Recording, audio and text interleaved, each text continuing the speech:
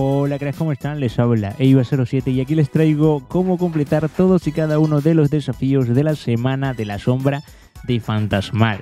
De la sombra de Fantasmal. Es un nombre bastante raro, pero no se preocupen chicos, son cuatro misiones que les enseñaré el mejor método para completarlas. Antes que nada, suscríbete al canal con la campanita activa para que no te pierdas vídeos como este. Vamos, suscríbanse todo el mundo.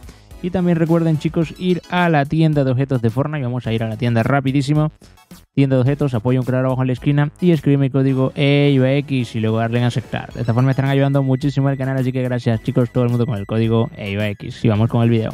Ahora, gente, realmente los desafíos son muy sencillos, ¿ok? Mira, vamos aquí a Semana de la Sombra de Fantasmal. Estos desafíos se pueden completar en cualquier modo de juego, solitarios, dúos, tríos, escuadrones. Incluso creo que hasta en refriega equipos se pueden hacer sin ningún tipo de problema. Y realmente, eh, más que enseñarles poco a poco cómo hacer los desafíos, les voy a explicar los más complicados, entre comillas, que son dos, y ya luego, pues los demás están muy, muy facilitos, ¿ok? Entonces, vamos primero con el de ocúltate durante 10 segundos con una única bomba sombra. Es un desafío que aunque suene complicado es realmente bastante sencillo. Lo primero que tenemos que hacer chicos es conseguir la bomba sombra, que esta bomba sombra se encuentra en cualquier parte del mapa, simplemente registren cofres o revisen el piso hasta que consigan esta bomba sombra que bueno, acaba de regresar de la bóveda el día de hoy. Ahora, ¿cómo tenemos que hacer para ocultarnos durante 10 segundos? Si lanzamos la bomba sombra de forma normal, lo que vamos a hacer es transformarnos eh, como en sombra, que es cuando estamos ocultos, pero no va a durar 10 segundos, ¿ok? Para que dure 10 segundos tenemos que ir bien sea a este lugar aquí en Caverna Descontrol, ahí, o directamente al lugar donde se encuentra eh, el monumento monumental, ¿ok? Donde está la estatua de la roca gigante.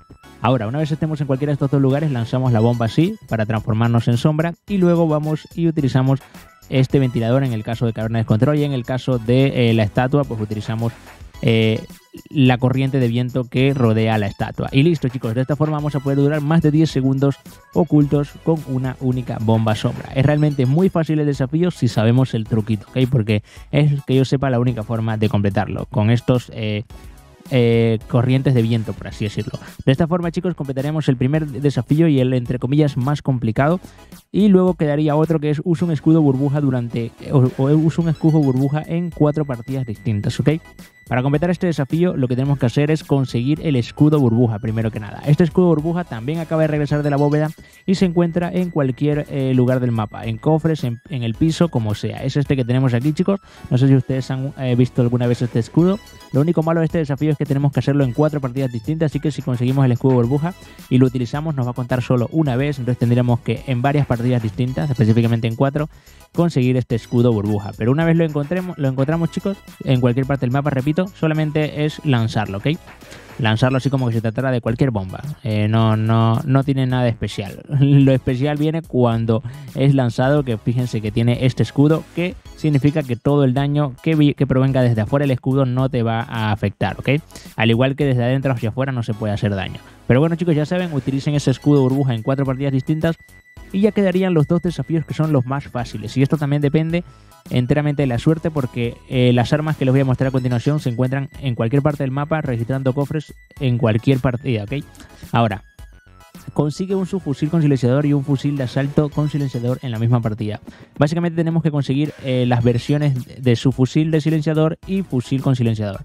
Las cuales son estas, ¿ok? Aquí tendríamos el subfusil con silenciador y el fusil con silenciador es este. Obviamente sale en rareza legendaria, pero se puede encontrar en cualquier rareza.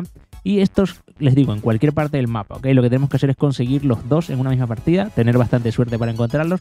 Y el último desafío nos dice inflige daño con un fusil con silenciador, un fusil de asalto con silenciador o un rastreador de sombra.